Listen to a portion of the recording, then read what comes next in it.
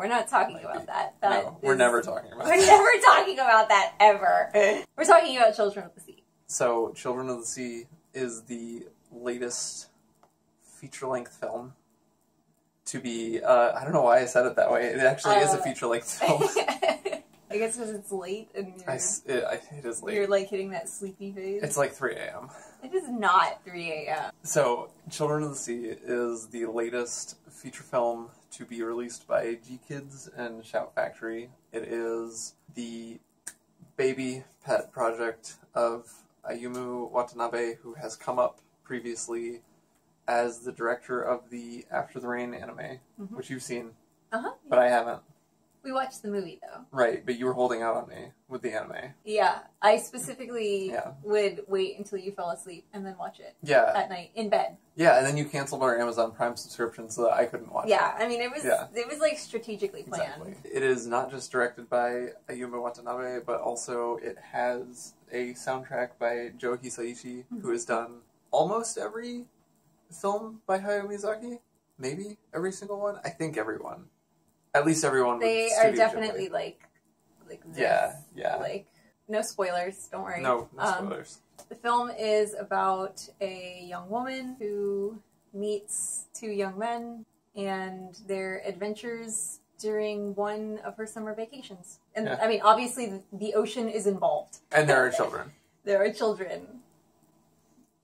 That's about it. There, there are lots of sea creatures. Actually, part of the uh, the bonus content Mhm. revealed that there are. Was it over forty or forty? I can't remember. Somewhere around forty. Yes, at least forty. At least 40. We'll Yes. say that. Yep. At least 40 um, marine creatures Mhm. make an appearance in this film. no, so that is that that is one thing about this movie. Um, we went into it. I, I I don't know. I don't know if I can speak for both of us. I think maybe I can.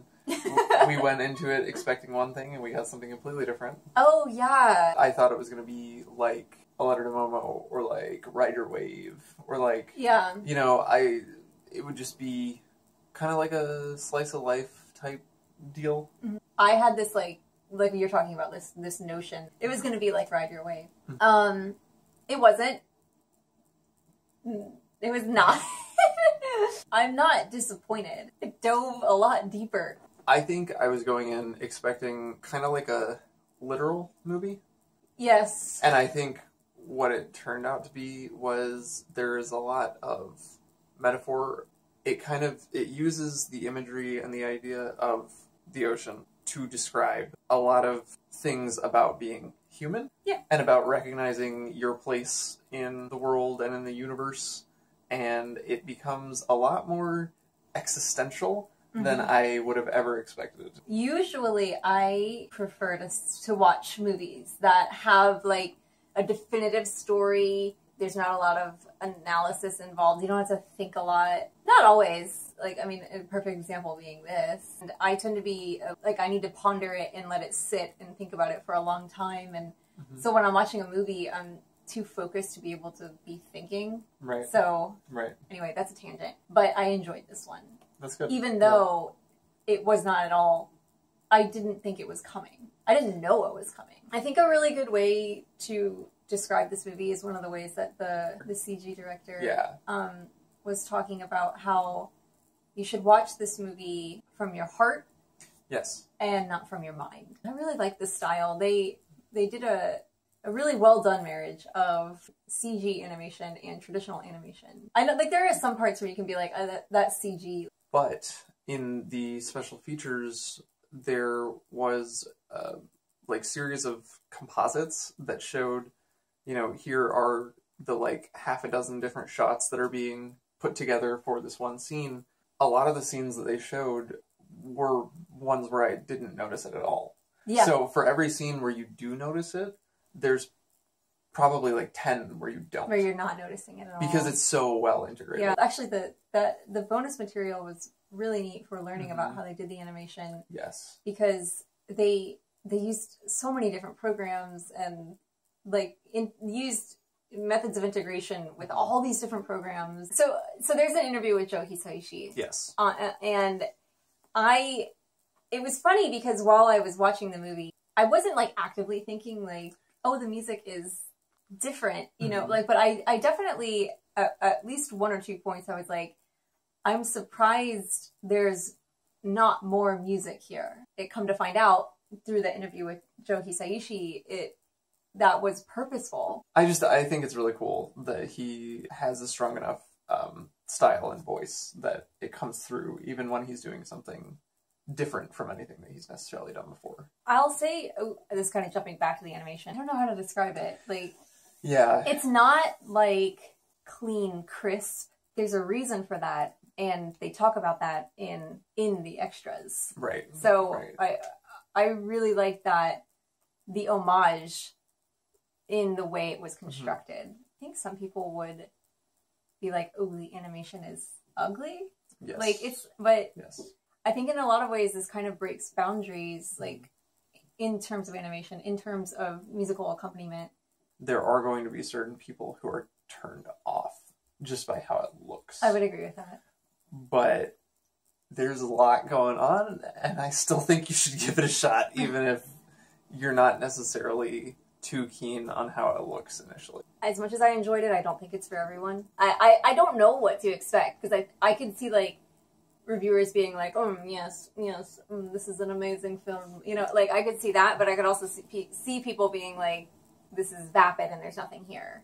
The directors even touch on that. Like They, they do. they said in their interview, like we we had an idea of what this is about, hmm but it's also designed so that anybody can have their own take on it. So I guess if you really are like me, um, and you don't like movies that are meant to be interpreted, this might not work for you. But I really enjoyed it. But that's coming from somebody who just really likes to look at pretty anime, mm-hmm. and there's so much you can think about and so much you can explore. And I, I honestly feel like it has a lot of rewatch value because you can go in, you know, from different angles, and mm-hmm. so I, I think it's one that if you like it, you're really gonna like it. Yeah, I think if you're looking for something that is more cerebral or surreal, you'll probably like what you find.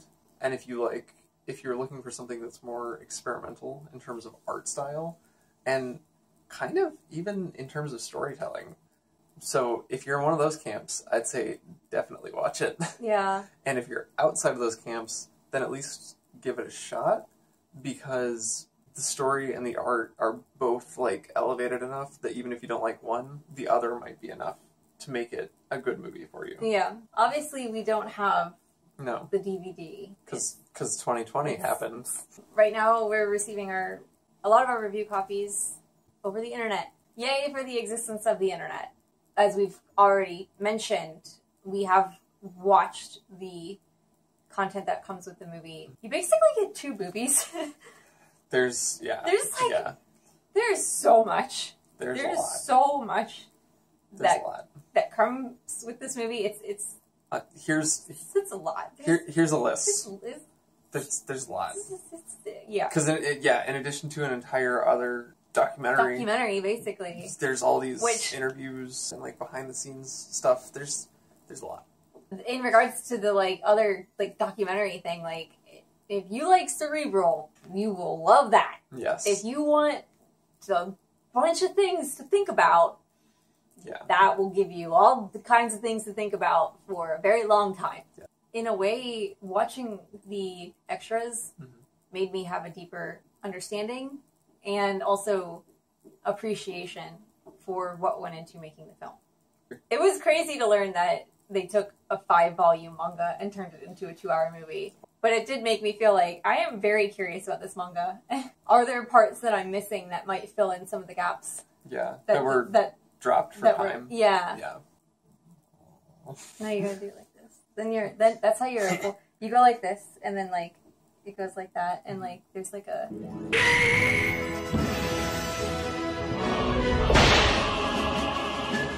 This has been um, learning how to adjust your glasses with Cinema Nippon. That was the whole point of this video. Yeah, that's all you really need to know. this whole video is a giant Trojan horse Yeah. just to teach you about that. Thanks for stopping by. so on that note, let us know. Um, Children of the Sea. It's out. Digital, Blu-ray, DVD. it's out today. today. Today, Right unless you're watching this Check the links. after the day that it In which case, it Okay. still out today. is technically still out today, so we're not lying. Go check it out. let us know uh, what did you think of it in the comments below. Yeah. What- Or if you haven't seen it, what do you think about it now that you've seen our review of it?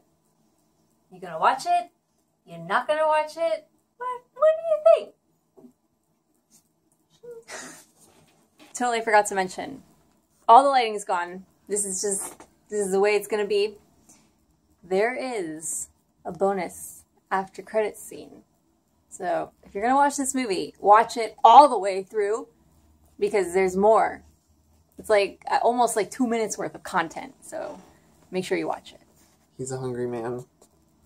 He needs to eat. You hungry? Hey! Hey! Aww, you're drooling. You're drooling.